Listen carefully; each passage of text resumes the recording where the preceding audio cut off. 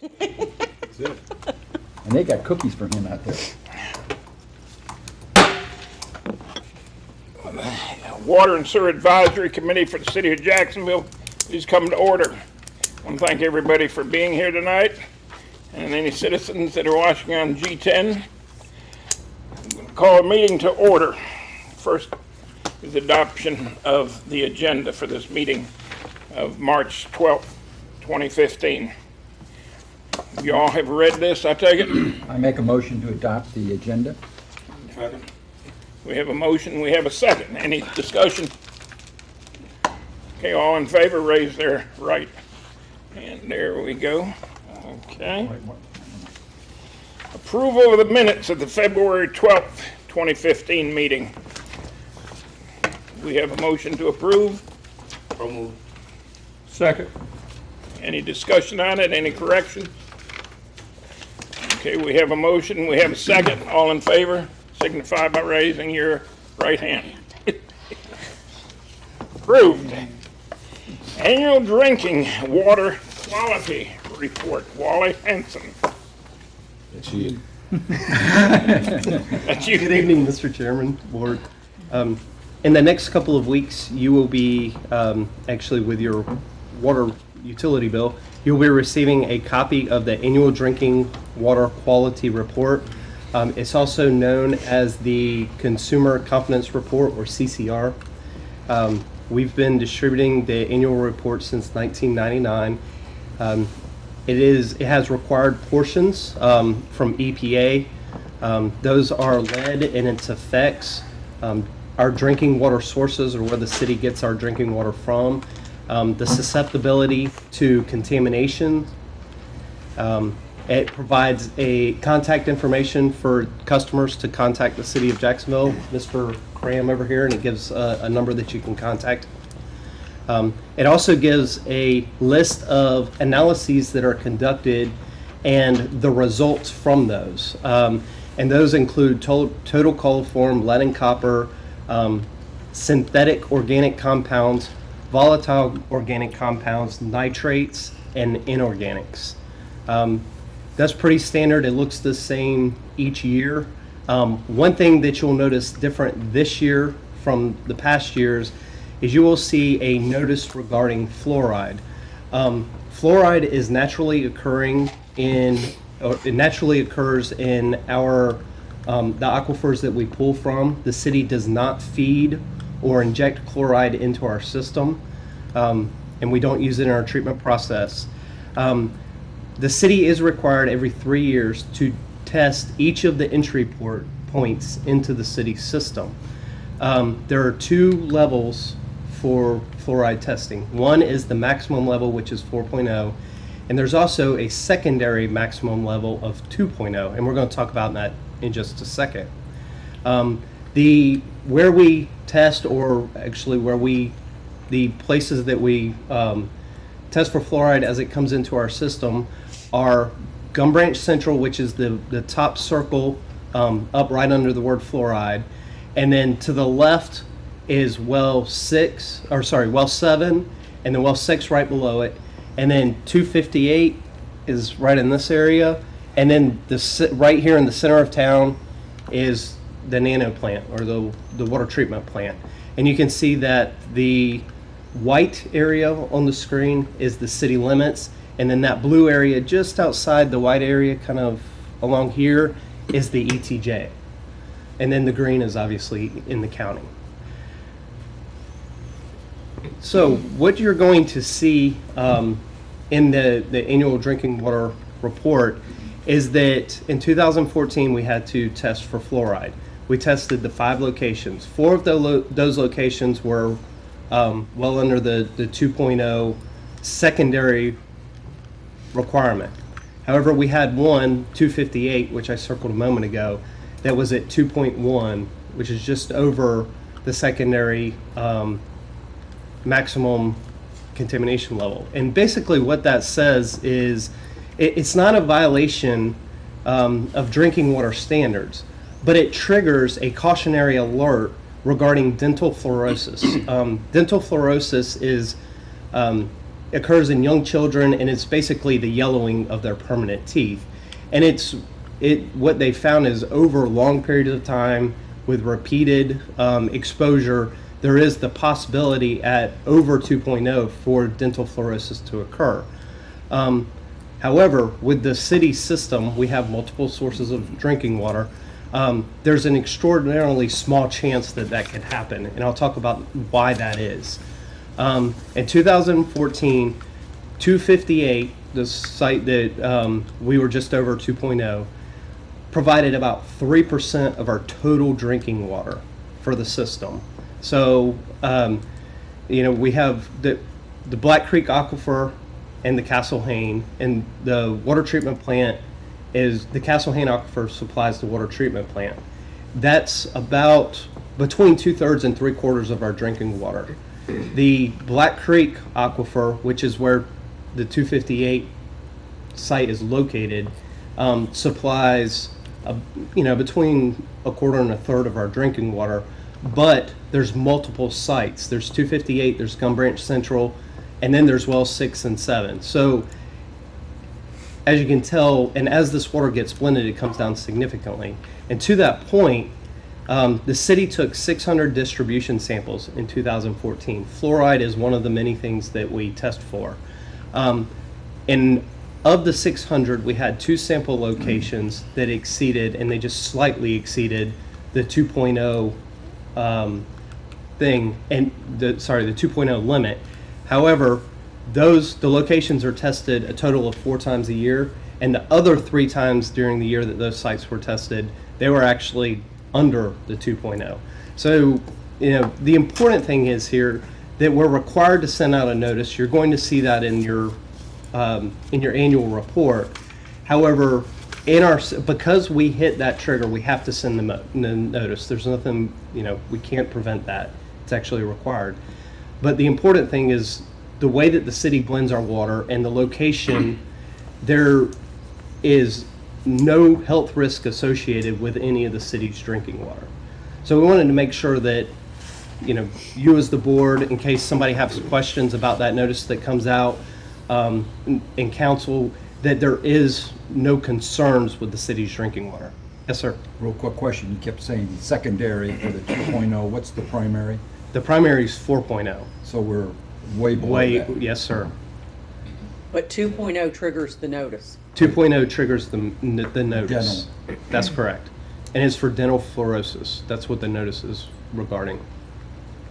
But again, the likelihood that that would even occur is minute because, again, in 2014, that was only about 3% of the total drinking water. Yes, sir. Uh, you may have covered it, and I just didn't hear it, but what I'm trying to ask you is, uh, throughout the city, we all getting the same quality of water. Or is one part getting a fraction more or a fraction less? Or is at one point, the water all comes together and then it's distributed? No, it comes in. Let me get back to my map.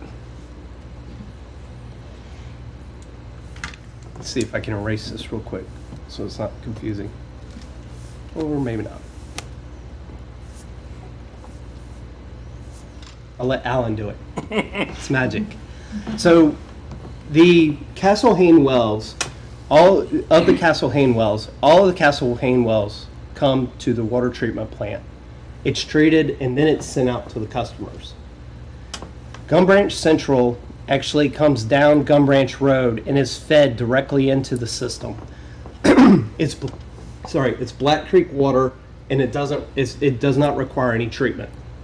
Are we completely out of Black Creek now? No, we're not. We bring, we get about um, last year. I think we averaged just under 1.5 million gallons per day, um, which is, I mean, we're we're over four, four and a half. But our quota is steadily getting uh, less and less each year. That it, well, we do have to um, we do have to contend with the withdrawal requirements from the Black Creek. Yeah. The next one that we face is in 2018, and we could be facing another 25% reduction. which would take us down to a permitted level of 1 million gallons per day from the Black Creek. However, there are certain requirements that we can possibly meet where we would not have to take that reduction. So right now, we're permitted for somewhere in the neighborhood of 2 million gallons a day, a day from the Black Creek Aquifer. But we're, because we're, the way we operate the water treatment plant, we're really only averaging somewhere in the neighborhood of 1.5 million gallons per day. And then the other source from Black Creek is well six and seven, which are right here. And they come in 258 along with two, the 258 Central. So these are fed directly into the system. This is fed directly into the system, and all of the Castle Hayne wells go out from here. So there, it's not like it's all brought to one place and then blended. So it is fed from multiple locations. In another way of saying, 258 services a portion of the city and not the whole city. It is possible that it could go through the system, but be so diluted as it travels through. I think it primarily goes to the downtown tank. Yeah, it'll go to the, the, the old water plant tank and Gum Branch first. But we have a, we have a booster pump, so, so what happens is when, when it's coming from the two fifty-eight side, it's being pushed over to the common side, it's getting mixed, it's constantly, there's constant turnover with it. It doesn't just sit, we can actually shove it over the commons tank, which is a high side tunnel. Doing that, so it's, it's getting really, really mixed. I think an interesting part of what William's uh, point is here, which is not necessarily dealing with the fluoride, is understanding how the system works, because if one pump was to be contaminated with anything, how would that affect the whole system? And is, if it's such that it's disassociated from being put out to the whole system, does that mean a portion of the city is at jeopardy if a well becomes contaminated with sand? Well, and we do, we te- we pull daily samples to ensure that we have, we do not have any problems. And the other half of that is everybody's getting the same quality of water. That's correct.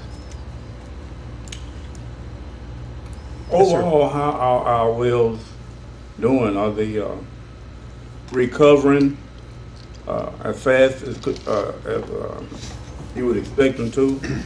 Or are they uh, dragging a little behind? You're, you're talking about the Black Creek I'm, Aquifer? I'm sorry, You're talking about the Black Creek Aquifer? overall. The Black Creek Aquifer, it, actually what they're finding is it's replenishing faster than what they originally anticipated. So, and some of that could be due to the withdrawal. Some of it's due to it's actually replenishing faster than what they expected. So, and that's the reason that if you meet certain criteria, that we may not have to take the next reduction. Is the Castle Hayne also recovering quicker than they thought? The, we see a direct correlation between the Castle Hayne and the surficial aquifers. Um, what I will say is that we have, um, we have a group that consists of the city, ONWASA, and the base, the three largest water providers in Onslow County. And we also invite others like Scientific Water um, to sit in and attend those meetings. And what we, basically, we're looking at the groundwater sustainability on regional effort. And two of the interesting things that we're currently working on is one, a uh, monitoring well uh, network to where we would go in and install monitoring wells, not only in the Black Creek, but in the Castle Hayne and the superficial aquifers. And we would be able to see around the county what's happening to those aquifers. Um, and we have um, Ground Management Associates out of Greenville, which is Dr. Spruill, who's probably one of the most renowned people in this, eh, you know, in this region um, for groundwater. Um, the other exciting thing that we have is a model that we're working on that would be essentially countywide. It would be a model that works with the city, the basin, and WASA systems and look at places for interconnect, um, not only of um, raw water, but also distribution, so that if we needed to transfer water or move water around and look at this as a holistic approach and more regional effort as we're moving forward. So the idea is to make it all more sustainable. Are we, uh, I know nothing is hundred percent, but are we in any danger of, uh, sinkholes because of flow recovery? No, sir, not that I'm aware of. Well, if you're in a world with me. Most of, if- most of the sinkholes or holes you see around town are either due to underground sewer pipes or underground stormwater pipes that have separations in the joints. Sand gets in and over time develops a sinkhole or a pothole. Then getting back to that again, then how, uh, the average age of our pipes that's buried in the ground? Ooh, I don't know if I could give an average age. We have some of our system that's pretty old If you take and the whole system, uh, uh, the whole system is probably around thirty if you average it out, around thirty years old, or a lot, or more. Right. Out on two fifty-eight, you go down past the senior center, down and up, there's a brick building out there. What is that? Is That is part of the well? Gum Branch Central, Okay, now back on. wait, down 258?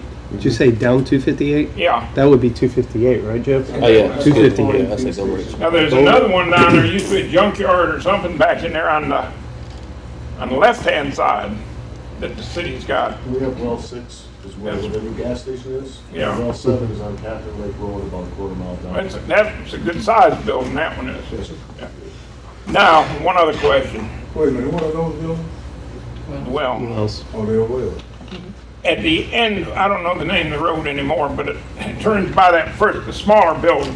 And you go all the way in the back, that used to be a well field back there. Is it still in We have use? wells one through five down there. It's actually Yes, called sir. Wells Road. They go to the, uh, equine, equine country or whatever it's back there. Yeah. We have four wells on that road. One's next to Lynnwood Zoo, and they go down that road. But I knew those are there the was ones that some feed- back there, but I didn't know if they were still being used or Yeah. Oh, not. no, no, those are the ones that feed the two Oh. Those are Black Creek wells. Anything coming down Gum Branch, coming from Richlands is Black Creek, right? That's correct. From the Richlands direction. That's all I Anybody have any more questions? Okay, Pete, I guess, your discussion on the land treatment. Oh, joy. Okay. Uh, Good evening, Mr. Chairman, uh, board members. Um, If you noticed in your last month's report, we gave you the status of the lagoon levels, and we were getting dangerously close to our permitted freeboard capacity. Um, On February the 25th, we hit our permitted freeboard capacity.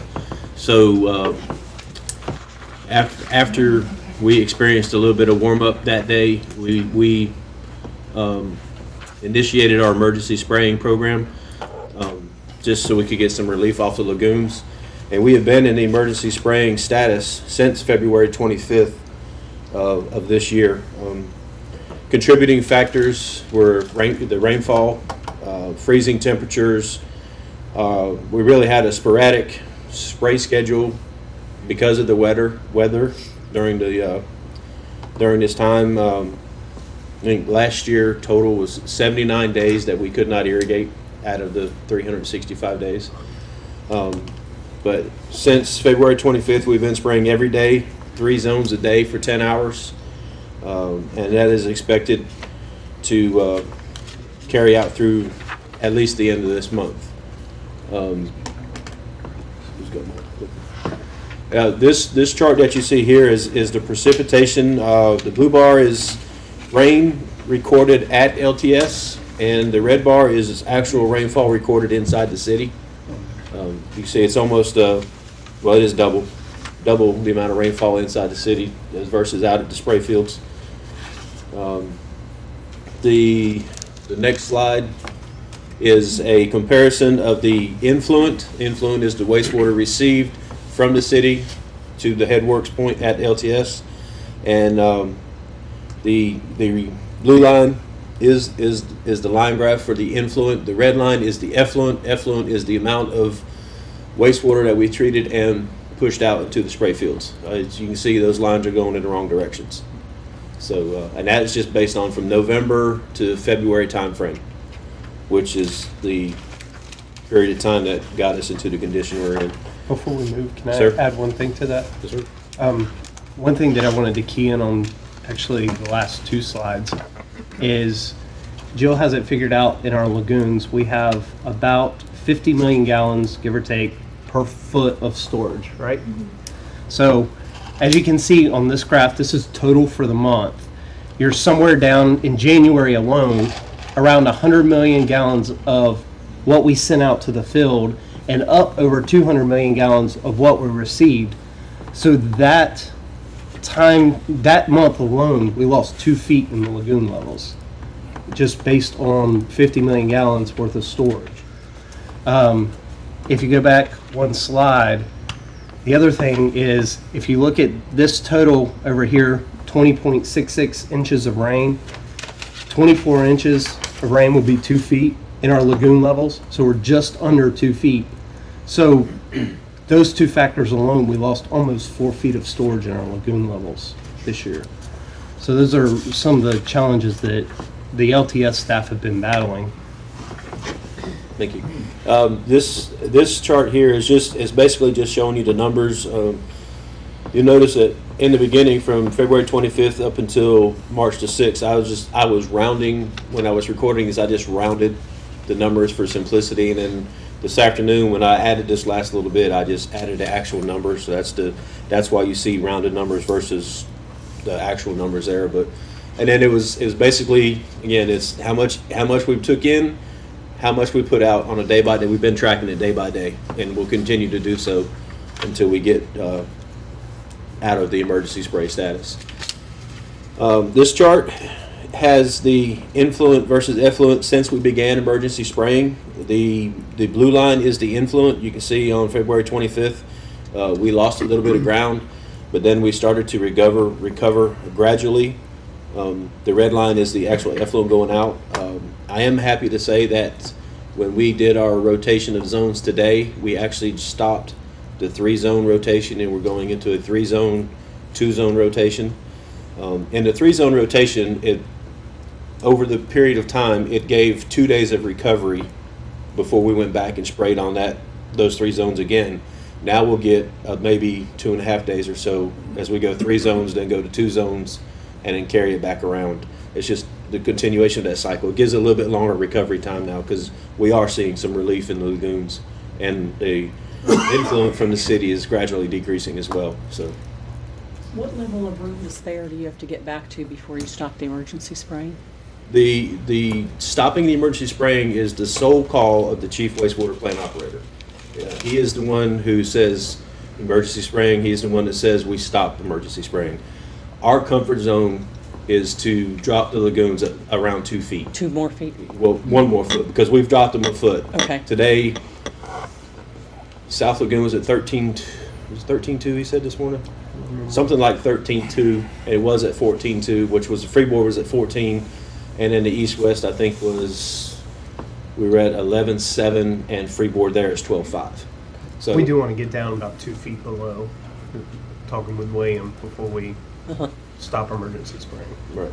So, so, so did you exceed the amount that DENR's allows you to get? We have not exceeded that. We're not. we're Okay, not. so when you're talking about what your freeboard and emergency spraying is, it's different from such as, say, a swine lagoon and what they're thinking of their freeboard and their emergency? Because DENR has regulations for those. Yes, we have, we have the two, mi- two foot per meter freeboard is our inner limit. We reached that limit.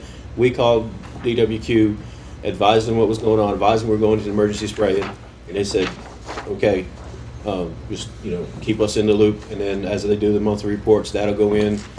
When we stop emergency spraying, we'll call and say, okay, we're comfortable now with lagoons. We're gonna go back to our normal rotation as weather permits. Meaning, if we don't have the half inch of rainfall, if we don't have freezing temperatures, if the ground conditions, based on the operators, say ground conditions are good, we can spray, then we'll go back into our normal, probably eight-hour rotation. Right now, we're gonna, when we go to three-two, we're gonna drop back to nine hours.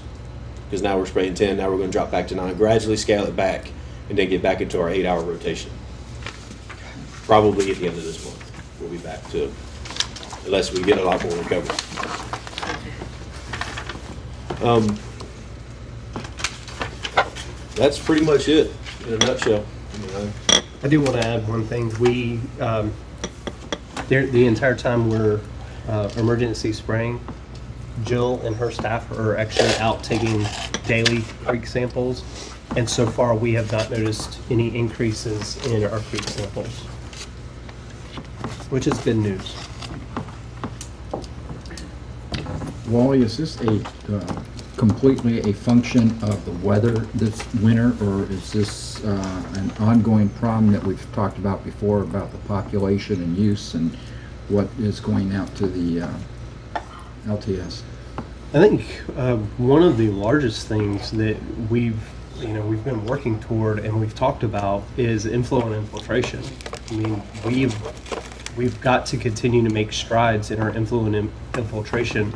Um, Pete and I have been working on some charts um, and talking back and forth. And one of the things that we've noticed is there's direct correlation between precipitation and our flows going up.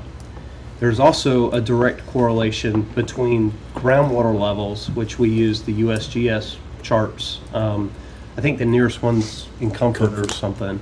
But you can see in December, we had heavy rainfall, if you remember Christmas Eve. And if I remember right, the USGS um, chart had groundwater somewhere near between half a foot and a foot below surface. And we had some really high flows in December, um, above what our normal usage would be. So, in um, you know, in the summer when the groundwater starts going deeper and falling off, and the rain, you know, it's drier, you can see our flows start to come back down. So it's, you know, it shows the importance of our inflow and infiltration program. taking the chance that I may be laughed at once again in this board meeting, um, we've talked about the LTS and the fact there is no more room out there, that even though you have quite a few acres, a good portion of that you're not allowed to use for spraying. That's correct. So are we going to be looking at every winter at fighting a freeboard situation that, yes, gets corrected in the summer, but you come closer and closer to having a violation because just the weather is going to force you there, plus the population pressure? And if that's the case, when do we start looking for the next LTS, which we've been told in this board can't be put in this county? Well, we're, I don't know that I can fully answer your question, but what I will say is in 2012, we had a um, group, it, it wasn't just one consultant, it was a panel that came in, evaluated where we were. And at that point, if you remember, we were facing mortality rate with some of the trees out there. Um, and they actually made some recommendations that we're working on. Um, and just for example, um, one of the things that the staff out at LTS are working on is um, what we call daylighting the laterals. It's getting some of that, getting the the vegetation that's grown in on the sprinklers because that's the way we apply the wastewater is by sprinkler, and getting that vegetation cut back, and then getting the canopy opened up so sunlight can get in and wind can blow through. And they we've we've seen huge success in the areas that we've done that. In addition, um, the report also recommended um, cultivation around the spray areas and down the ladder laterals, um, basically to, you know, over time the ground gets compacted. So basically break that up. And in addition, we've there was also some recommended recommendations to do what they call ripping, which is where you take something and you actually try to break through the hard pan underneath, so that water percolates. Um, so those are all things that we still have to work toward, and obviously the forestry management, which um, you know we've only had a, a active forestry management plan for a very short period of time, and we're still trying to catch up to all of the recommendations in that forestry management plan. So those are all things that we're going to have to focus on. Um, But that only But- delays needing a new LTS. That's At correct. some point of population. that's correct. When was the last time we had emergency spraying? 2010, and it was Wow. in Feb- February. February. It was right about the same time period. Well, I'm just wondering if it may be prudent to consider, uh, which I would suggest the board might support, putting a plan together for a new LTS, not necessarily buying any ground or getting consultants, but just saying what would be necessary since, as uh, we were briefed here, the last LTS took several years once decided to get, go for one. So if this is something where we say, what we think we have will work for three, four, five years, but it's gonna take six years to put a new LTS in, maybe we need to be thinking about how we would do that and do it without the panic of being threatened with penalties for being over our freeboard. I, ju- I just offer that as a consideration. Thank you. Any other questions? Who's doing the grease reports? Pete, are you? The, the grease report should be submitted into report. Right, I- it, it's in here, I just wanted to ask a question about it. Yeah. I Go didn't know. It says here, yeah, let me get it now. About, the- on the violations, at fifteen repeat offenders. Um, What are we doing? We're fining them how much on that after the uh, first warning and all? Is, was it twenty-five or fifty dollars? Twenty-five for the first and repeats are fifty. But that doesn't seem to be doing any good, does it? If you got fifteen that keeps doing it every month. What we found is it's not exactly the same Say 15. 15. They Well, rotate. Fifteen were repeat offenders, so I don't, But it's not, it, the 15 repeat offenders in February aren't necessarily the same 15 repeat offenders in December or January.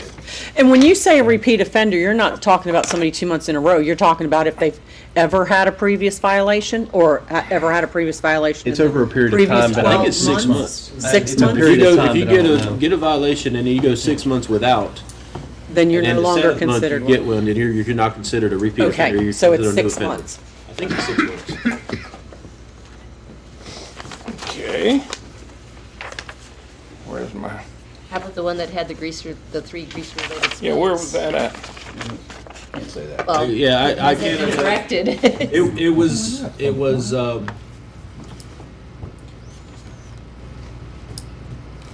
a well-known establishment. Uh, We I'm don't I'm discuss- not, I can't call them out on air. Um, but, uh, what we found is, um, and we helped them with this problem, is they actually had a blockage downstream of the grease trap and they didn't realize it. So every time, all their sewer was mixing in with the grease trap. So we ended up helping them because we could take it mixed. We took it and cleaned out their grease trap and, you know, charged them with a rate schedule and then helped them get their blockage cleared out. Um, but it was until that point that they realized they had the blockage and that's why they were mixing their actual waste with their grease. So we helped them with that and got them squared away. Is that something that's likely to reoccur there? Um, a- anything's possible. Um, but I think now they, they've had a changeover in management, so now you have some new people there who weren't necessarily aware of the, the processes, and, but now they are. Um, but I mean, yeah, you can get grease blockages anywhere. Yeah, I mean, the, Obviously, you don't like it when the grease makes it past the grease trap, so was it a, what they were doing, you know, too hot, too something that it wasn't congealing within the trap that you've helped figure out, so it's not Uh, coming down and ending up in the lift station? I think it was just high usage and then not lack of maintenance combination. And then, uh, like I said, we educated them a little bit, helped them out, got them back to a starting point, And then so far, it's progressing as it should. Any other questions for? Wally, water and sewer rate discussions.